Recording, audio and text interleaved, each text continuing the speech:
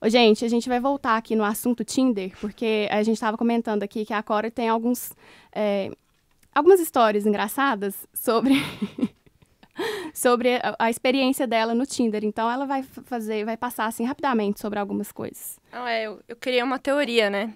Aqui, de observar o público.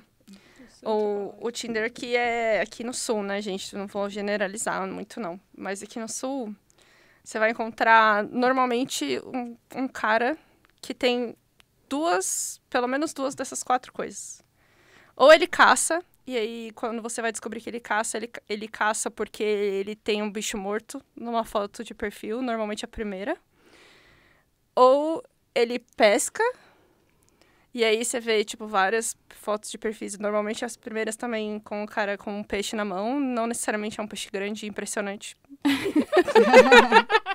Qualquer peixe serve. Qualquer peixe serve.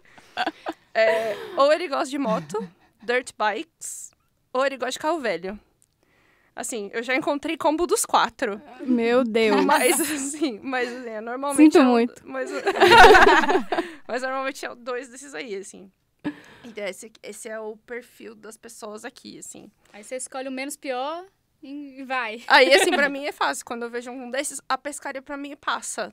Eu, eu, eu fecho o olho e, e desce. Mas quando eu vejo algum desses, assim, a moto, talvez, depende. Mas é fácil, porque daí pra mim já é o critério pra swipe left. Aí, mas é, é, o, é, o, é o perfilzinho daqui, assim, então eu, eu fujo disso. Ah, tem um quinto também, né? Acho que eu tava falando disso em algum lugar agora, eu não me lembro, que é o, é o rugby. Que é tipo futebol no Brasil. É que eu não me importo, porque eu gosto de rugby, mas assim, poderia ser outro problema, né? Poderia ser o quinto elemento aí que. o quinto critério pra que descartar. É, que é tipo macho padrão daqui. É, também. Então, se você tá rugby. chegando agora no Tinder, atenção.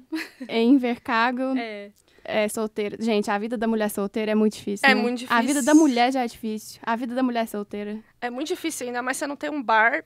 Bom, também se no bar você não ia descobrir nada disso até ser tarde demais, talvez, né? Mas assim. cara do Dani.